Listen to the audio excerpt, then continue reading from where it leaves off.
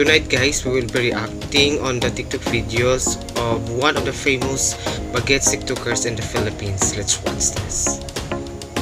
Ah, siya pala si Banjo. Oh my god, ang galing naman niyang sumayaw, sumayaw guys. Ang in fairness si Banjo guys, ah, pogi po siya. Tell you honest. Wapo, ang galing gumiling guys. Medyo ano lang siya guys, ah, medyo ah, payat lang siya konti but ang yung height niya is bagets na bagets talaga.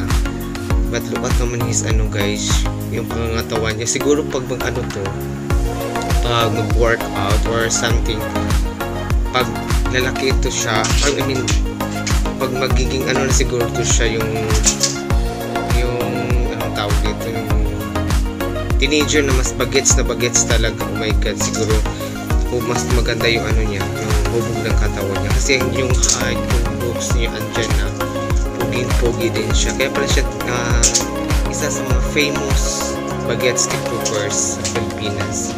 Kasi most of the tiktok videos niya ang daming views. But let's see naman based naman sa mga tiktok videos niya guys magaling din naman siya. As, as in magaling gumiling, sumayaw.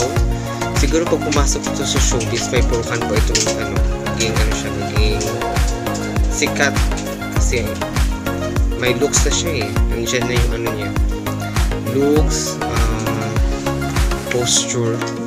Tapos yung ano niya yung magaling pa siya sumayaw. Wow. Promise. Uh, galing naman niyang gumiling guys. Galing niyang sumayaw. Siguro ano to siya guys? Dancer to siya guys please comment down below kung nga may nakakaalam kung dancer ba itong si Banjo. Siguro pag pumasok to siya sa, ano, sa PBB mas lalo siguro itong sisikat guys. Kasi ano naman siya oh pogi. Uh, bagets na bagets talaga as in uh, guwapo din siya. Promise. May itsura siya. Tapos yung buhok niya siguro yung as best asset niya dito is yung buhok niya look at naman uh, the way siya sumayaw uh, yung looks niya ano talaga yung bagets na bagets ang dating. Yung generation generation G. Sila. Uh, grabe oh. Galing niya sumayaw guys.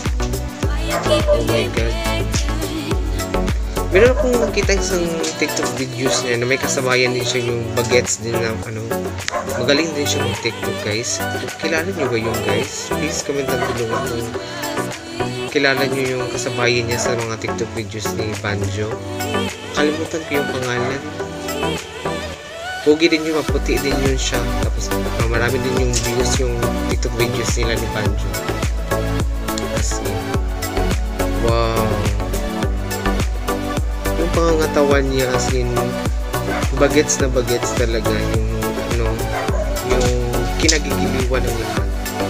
Yung baby boy na baby boy talaga ang dating niya promise yung parang hindi mo basagan ng pinggan niya yung itsura niya. Yung parang normal lang na parang pero ang pugi niya guys. Pugi niya promise may dating din siya. As in magaling pang sumayaw. Grabe itong si Banjo guys.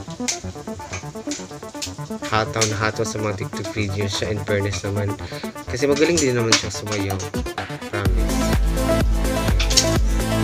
okay that's it for today's video guys. Uh, so if you have comments or suggestions just comment down below para sa next reaction video natin ating magpapos please like, share, comment, and subscribe. Salamat sa pag thank you